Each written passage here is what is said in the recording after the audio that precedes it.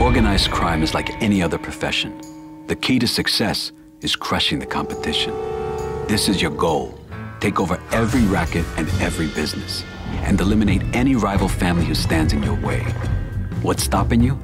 The other families will ruthlessly defend their turf and try to take back places that you control. You can't stop them by yourself. If you want to win, expand your family, improve your crew members' skills, and hire guards to protect your territory. And most importantly, learn to use the bonuses you'll earn from controlling crime rings. Do this, and you'll know what it means to be called a Don.